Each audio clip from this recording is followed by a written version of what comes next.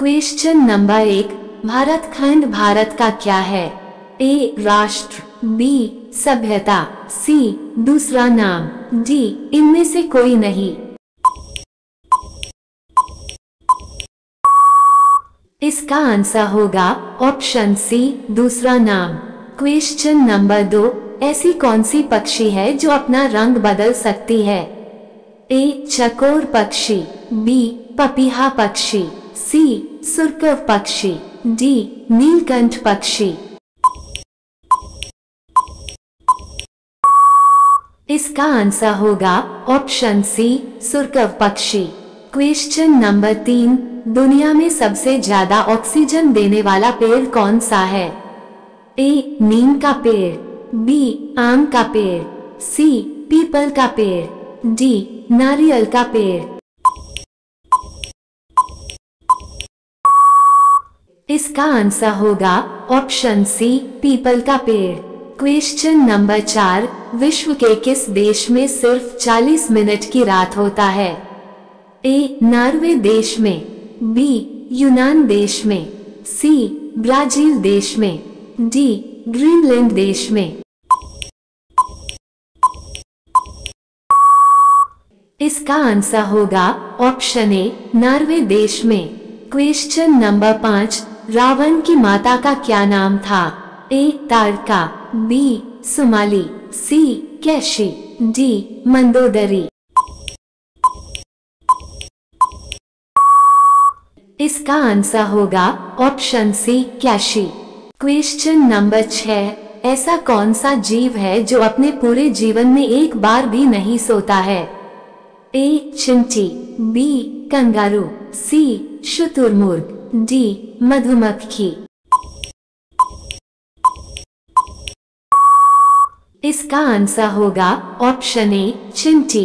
Question number सात, भारत का प्रथम महिला विश्वविद्यालय कहाँ पर स्थापित हुआ था? ए, दिल्ली में, बी, मुंबई में, सी, बेंगलुरु में, डी, कोलकाता में। इसका आंसर होगा ऑप्शन बी, मुंबई में। क्वेश्चन नंबर आठ, आग बरसाने वाला पेड़ किस देश में पाए जाते हैं? ए, हंगरी देश में। बी, कांगो देश में। सी, डेनमार्क देश में। डी, मलेशिया देश में। इसका आंसर होगा ऑप्शन डी, मलेशिया देश में। क्वेश्चन नंबर नौ भारत में प्रथम महिला प्रधानमंत्री कौन बनी थी?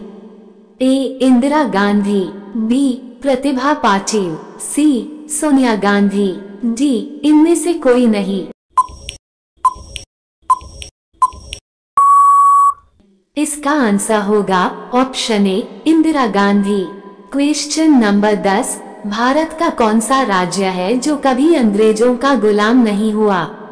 ए, गोवा राज्य, बी, असम राज्य, सी, मेघालय राज्य, डी, झारखंड राज्य। इसका आंसर होगा ऑप्शन ए, गोवा राज्य। क्वेश्चन नंबर ग्यारह, भारत का राष्ट्रगान जन गण मन को संविधान सभा ने कब अपनाया था? ए 24 जून उन्नीस को। बी 15 अगस्त उन्नीस को सी 26 जनवरी 1950 को डी 24 जनवरी 1950 को। इसका आंसर होगा ऑप्शन डी 24 जनवरी 1950 को। क्वेश्चन नंबर 12 भारत के किस नदी में सोना बहता है? ए गंगा नदी में बी नर्मदा नदी में, सी, कावेरी नदी में, डी स्वर्ण रेखा नदी में। इसका आंसर होगा ऑप्शन डी स्वर्ण रेखा नदी में। क्वेश्चन नंबर तेरह, भारत की पहली महिला राज्यपाल कौन थी? A, Sushmita Sen, B, Mamata Banerjee, C, Pratibha Patil, D, Sarojini Naidu. इसका आंसर होगा option D, Sarojini Naidu. Question number चौदह, दुनिया में सबसे पहले शादी किसने किया था? ए मनु और शत्रुपा ने। बी जनक और सुनैना ने। सी केसरी और अंजनी ने। डी वासुदेव और देवकी ने।